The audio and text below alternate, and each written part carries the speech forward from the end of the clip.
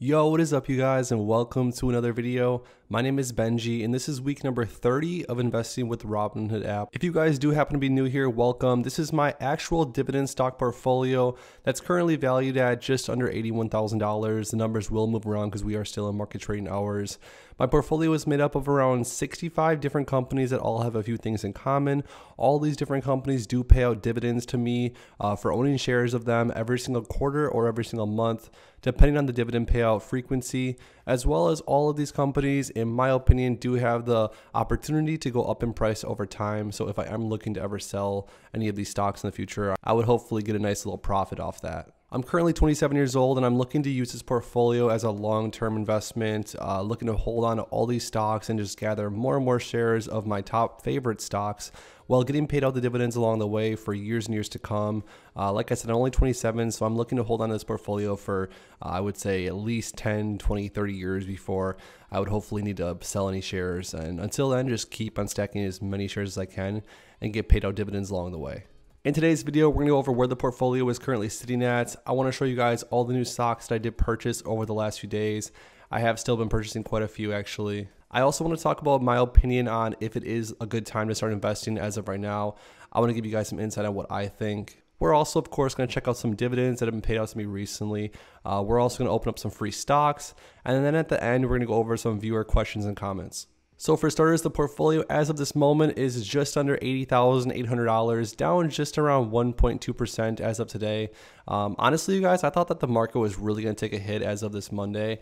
Um, I just felt like there was something brewing. I felt like we were going to wake up to some really uh, dramatic uh, things going on in the market, but it really kind of leveled out. It's sort of just moving around a little bit. Some sectors are down, some sectors are up. But overall, I was luckily able to grab a few more deals as of today, which we're going to go over here in a second. If we take a look at the last week now, we are down $2,670, down 3.2% over the last week. Looking at the last month, we're up $5,100, just over 6.7%.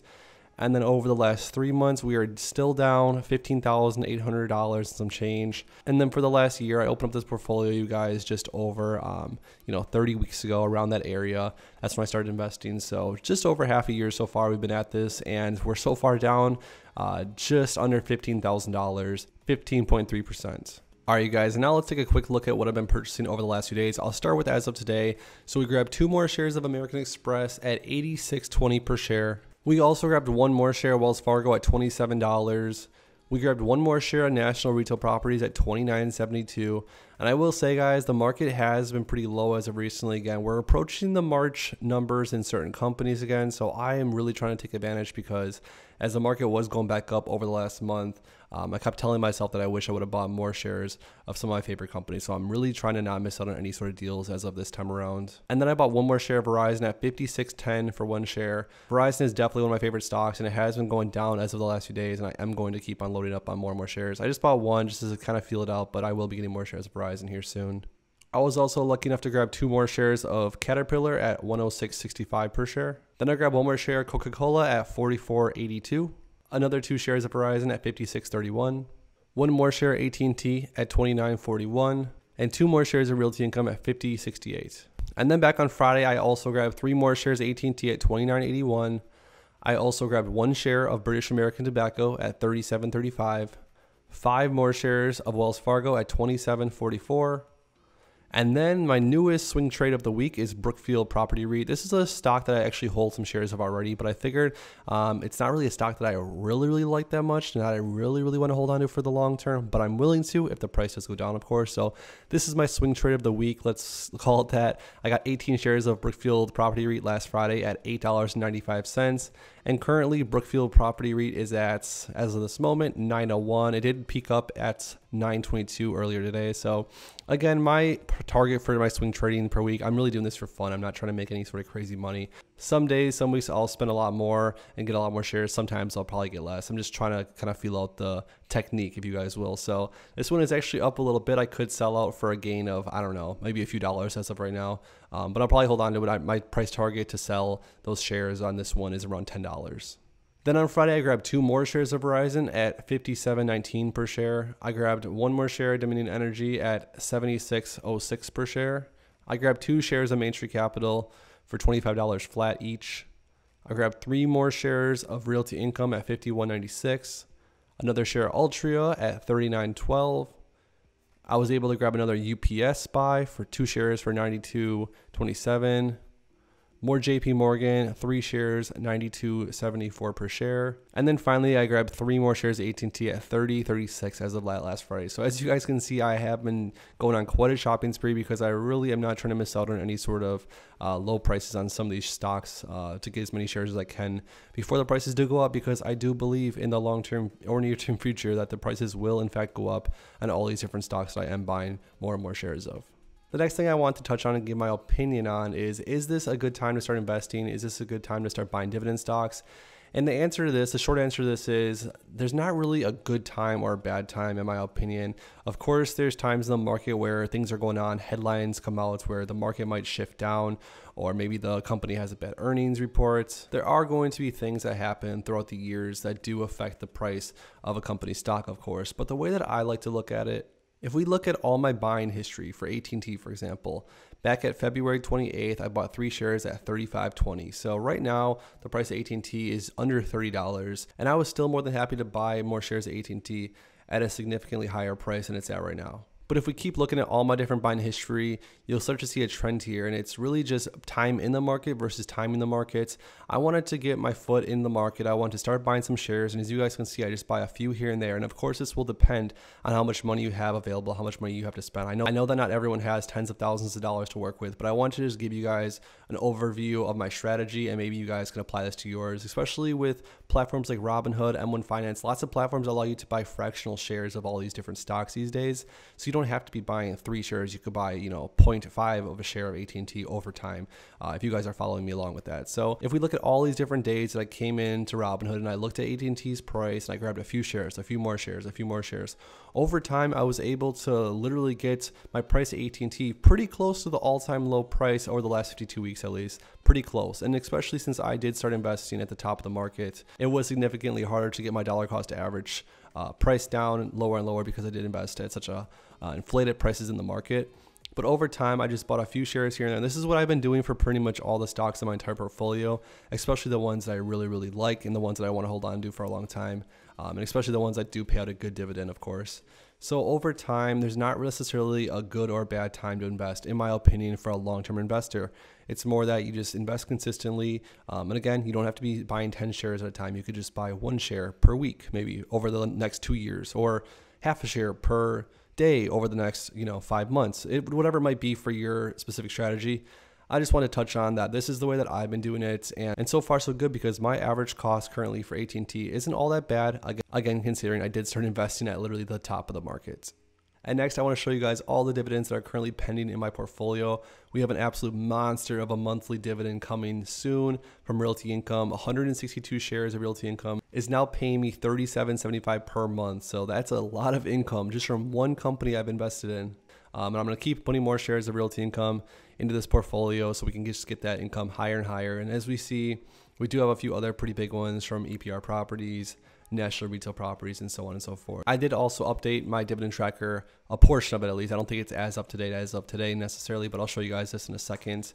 And as of the last few days, we did get a big payout from AT&T and Verizon, um, Foot Locker, all in one day. So that's again one of my biggest payouts in one day. Um, so as you guys can see here, this dividend portfolio is chugging along, and we've came a long way.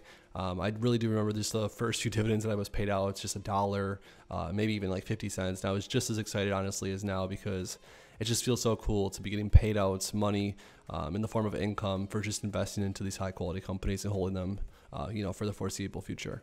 A quick look at my dividend tracker. I need to update this again, you guys. I need to make sure that it's all updated. I think it's mostly updated, but as we see here from when we started dividend investing. These are all the dividends that are paid out on each day. So started off very, very slow for the first few months. As we move on to just a few months into this, we're only 30 weeks into this, um, you know, journey, this dividend portfolio. We are starting to see a whole lot of income coming in. Um, again, this is on days. So we've had days where we've had over $100 of dividends paid to us, and the graph is just going to keep going up and up and up because I am just investing into more and more shares of more and more companies, which all do pay dividends. So the future should be bright, hopefully, as long as these companies don't cut or suspend their dividends, which it's most likely going to happen with some more companies. There has already been a few in my portfolio that has done it. And with the current economic situation going on, it's sort of going to happen regardless because companies need to conserve cash, and I understand that. But overall, we're pretty diverse. Hopefully, we can keep the dividends coming in, and hopefully, we can keep bringing this graph, you know, higher and higher and higher as the days, weeks, months, and years go on.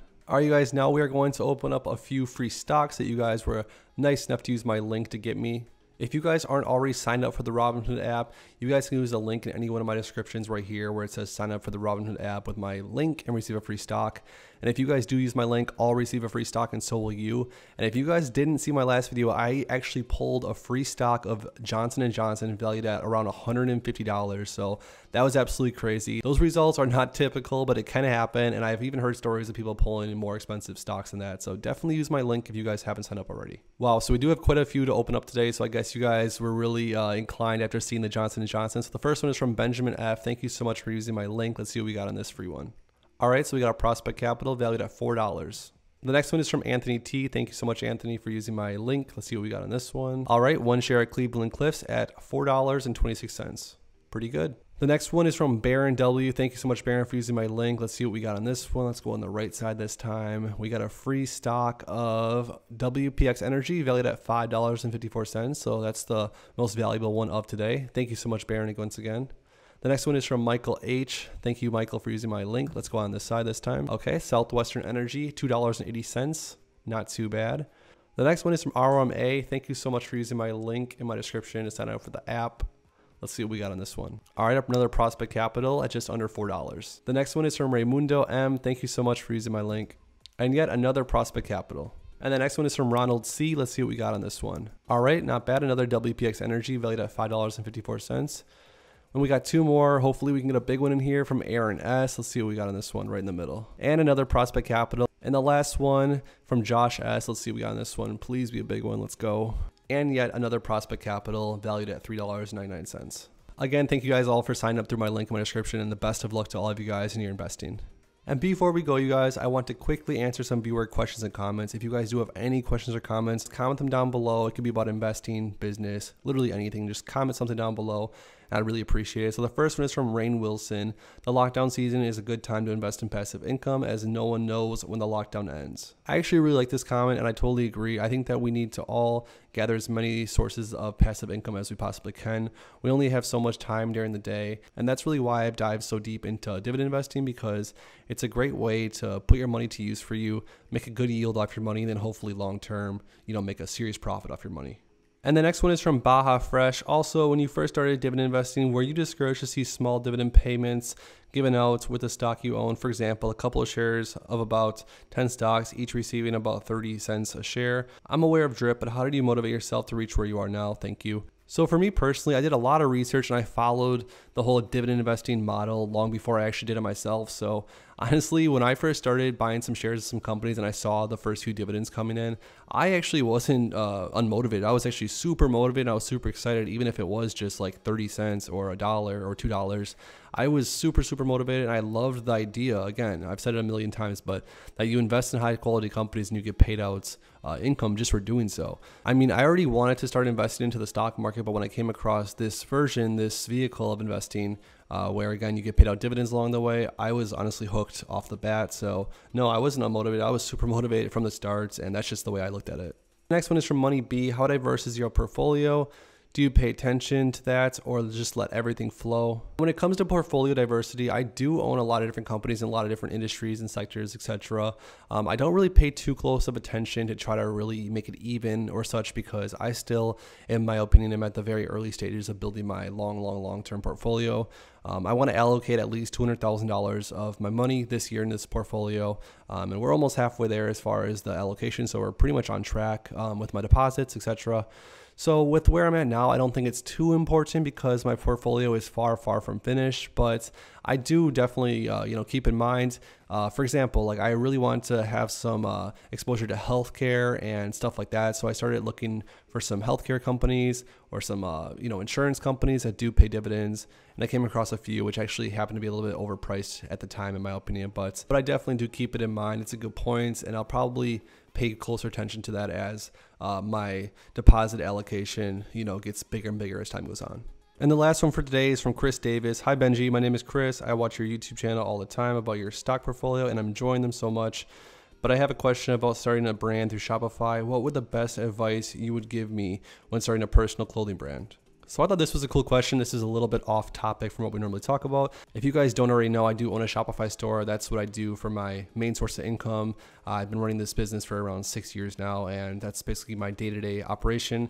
I run an online retail store basically. So I do have quite a bit of experience with selling physical products online, etc. And my honest advice to you, Chris, would be the following, and feel free to ask more questions on you know uh, future videos as well as this video to give me more detail of what you're looking into. But some vague advice would be learn marketing. That's one of the hardest things to do when starting an online store. You really have to know how to market your products. Learn how to do Facebook ads. Learn how to do Instagram ads, Snapchat ads learn email marketing, look into all these different ways to reach an audience. Um, in my opinion, that's the most important way to build a brand. Um, I've came across plenty of friends and colleagues in the past, uh, you know, a few years that have had ideas for awesome products, but it all comes back to the same thing.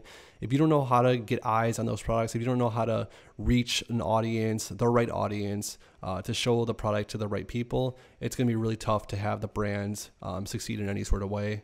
So although I'm sure your clothing brand is probably really cool and I'm sure that you have really unique style and whatever else it might be for a cool, you know, new hip clothing brand, um, I would say the most important part would be to learn marketing, learn digital marketing, learn paid advertising. That, that is going to be the most important thing for your brand's success. Well, that is going to do it for today, you guys. Thank you guys so much again for stopping by. Please, please like this video if you guys did like this video. Make sure to subscribe for more updates on this portfolio and everything that I have going on. I'm looking to keep buying aggressively over this next week, as well as I'm looking to hopefully execute and close out of my previous swing trade that we, uh, you know, implemented as of last week and start a new one as of this week. So make sure to stick around for that and everything else we have going on. Make sure to subscribe. Thank you guys so much again for watching, and I'll see you in the next video.